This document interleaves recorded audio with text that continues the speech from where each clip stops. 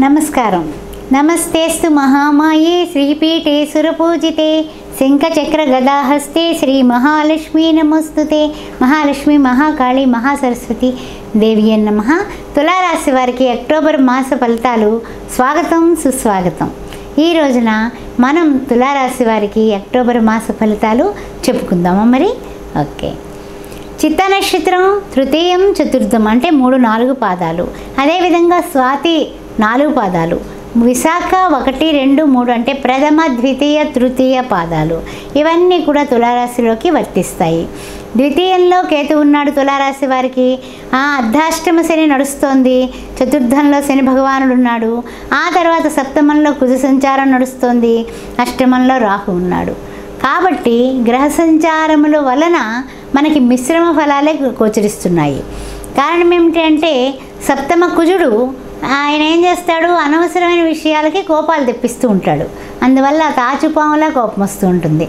ఆ విషయంలో మీ భాగస్వామి మీద మీ ప్రతాపాలు చూపిస్తారు కాబట్టి ఆ విషయంలో జాగ్రత్త వహించవలసింది. లేకపోతే ఇంట్లో ప్రాబ్లమ్స్ స్టార్ట్ అవుతాయి. అది గుర్తుపెట్టుకోండి. రెండేమిటంటే అష్టమంలో ఉన్నటువంటి రాహువు ఇప్పుడు ఏమిటి? కళత్ర స్థానంలో కుజుడు. అష్టమంలో రాహువు. ఇద్దరూ కలిసి ఇది రెండు కూడా మీ యొక్క తులారాశికి సంబంధించే కనపడుతున్నాయి. కాబట్టి ఆ విషయంలో మీ కోపానికి ఇంకాస్త అజ్యం పోసినట్టు అవుతుందన్నమాట. అందువల్ల జాగ్రత్తగా మాట్లాడటం జాగ్రత్తగా ఉండడం తర్వాత కోపాన్ని కంట్రోల్ చేసుకోవడం అనేది అలవాటు చేసుకోండి ఫస్ట్ ఎందుకంటే వాదన ఎప్పుడు కూడా సాధనకి పనికిరాదు. ఆ విషయం గుర్తుపెట్టుకోండి. నెక్స్ట్ ఏమిటంటే కొన్ని వ్యవహారాలు గవవ ఫలితాలు కనపడక చాలా చిరాకు తెప్పిస్తూ ఉంటాయి. చాలా చికాకు పడుతూ ఉంటారు. అన్ని విషయాల్లో విసుక్కుంటూ ఉంటారు. అవన్నీ కూడా పక్కకు పెట్టి కొంచెం చిరునవ్వుతో ఎందుకంటే భగవద్గీతలో కూడా చెప్తాడు కృష్ణ పరమాత్మ నీ యొక్క ముఖంలో కనిపించే చిరునవ్వే నీ జయానికి వా ఏమిటది? వారధి అన్నాడు. అంటే ఏమిటి? మనం చిరునవ్వుతో ఉంటే సమస్యలన్నీ కూడా పక్కకు వెళ్ళిపోతాయి సుమా అన్న విషయాన్ని మీరు గుర్తెరిగి ప్రవర్తించండి.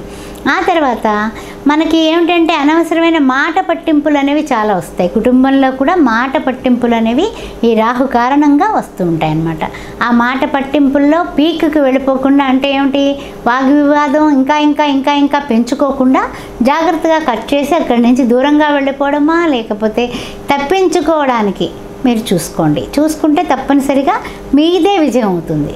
గుర్తుపెట్టుకోండి. అవతల వారు మాట్లాడినప్పుడు మనం కొంచెం తగ్గితే అవతల వాళ్ళు మన మాట వినడానికి ఆస్కారం ఇచ్చిన వాళ్ళం అవుతాము. ఆ తర్వాత వాళ్ళే చల్లబడిపోతారు. ఆ విషయం గుర్తుపెట్టుకోండి. తర్వాత మధ్యవర్తిత్వాలు మొహమాటాలకి పోకండి. వెళితే మళ్ళీ మీరే అక్కడ కూడా మీరే మీ యొక్క మాటే పోతుందన్నమాట. అందువల్ల ఆ విషయంలో కూడా చాలా జాగ్రత్తగా ఉండండి.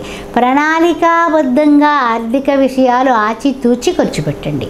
అంతేగాని పూర్తిగా గవబా ఖర్చు పెట్టేసి తర్వాత మళ్ళీ అప్పులు చేయాల్సినటువంటి పరిస్థితులు కనపడుతున్నాయి. అందువల్ల అప్పులు ఉన్న అప్పులే కాకుండా ఇంకా అప్పులు పెరిగే అవకాశాలు కూడా కనిపిస్తున్నాయి కాబట్టి ఆర్థిక విషయాలు జాగ్రత్త.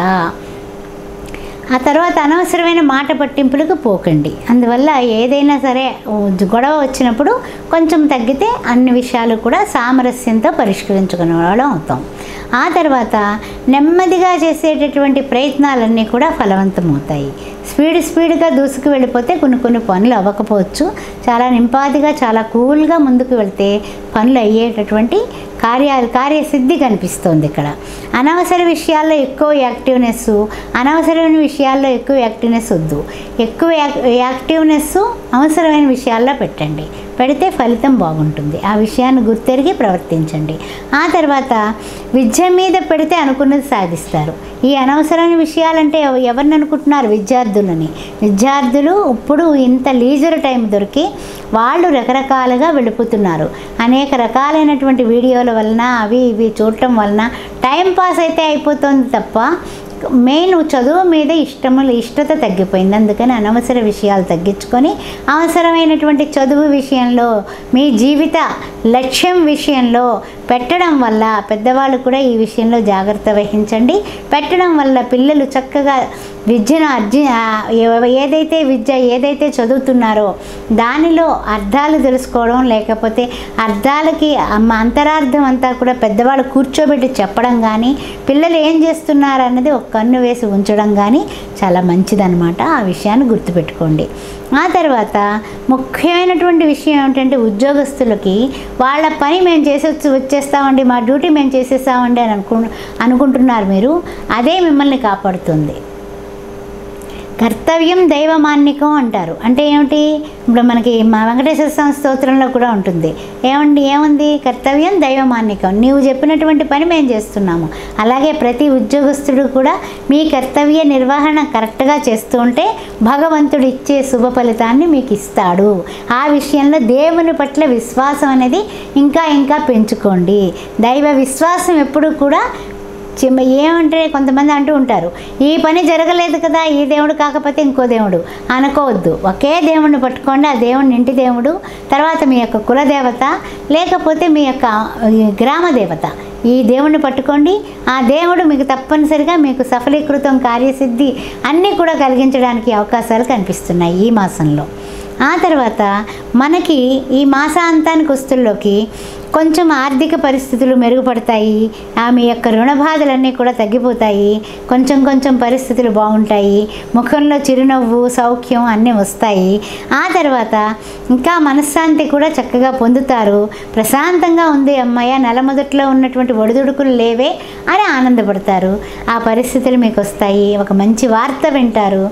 ఆ మంచి వార్త వల్ల వార్త వలన మీకు వెయ్యి ఏనుగులు ఎక్కినటువంటి బలం చేకూరుతుంది. అందువల్ల మీరు ఆయుర ఆరోగ్య అభివృద్ధితో అష్ట ఐశ్వర్యాలతో ఆనందంగా ఉండడానికి మరి ఏం చేయాలి అంటే రాహు కారణంగా అంటే అష్టమ రాహు ఏం చేస్తాడు అంటే ఈ చిరాకులన్నింటికీ కారణం ఆయన అవుతాడు కాబట్టి మినప సున్నుండలు బెల్లంతో చేసి నెయ్యి నెయ్యి బెల్లము మినుములు నల్ల మినుములు వేయించినటువంటి సున్నుండలు చుట్టి అవి మంగళవారం మంగళవారం పద్దెనిమిది మంది పిల్లలకి పెట్టండి. పెద్దవాళ్ళకి కానీ పిల్లలకు కానీ ఎవరికైనా సరే పంచండి. ప్రతి మంగళవారం కూడా ఈ యొక్క అక్టోబర్ నెలలో ఈ సాధక పాదకాలన్నీ కూడా కొంచెం క్లిష్టంగానే ఉన్నాయి కాబట్టి ఆ పని అనుకున్న పనులు అనుకున్న ఆర్థిక బాధలు అన్నీ తొలగి మంచి జరగడానికి మంగళవారం మంగళవారం రాహువుకు సంబంధించి ఈ నల్ల మినుములు ఈ బెల్లం ఎందుకన్నానంటే కుజుడుకు సంబంధించింది ఆ దోషం కూడా పోతుంది. నెయ్యి ఎందుకన్నానంటే నెయ్యికి భగవానుడు శని భగవానుడు కారణం కాబట్టి ఆ విధమైనటువంటి పని చేయండి. దీపారాధన నిమిత్తం నువ్వుల నూనె ఏ గుడిలో అన్నా సరే కేజీ పావు పట్టుకెళ్ళి ఇవ్వండి. ఆ విధమైనటువంటి రెమెడీస్ చేసుకోండి. తర్వాత ఎర్రని వస్త్రాలు మంగళవారం నాడు ఎవరికైనా దానం చేయండి.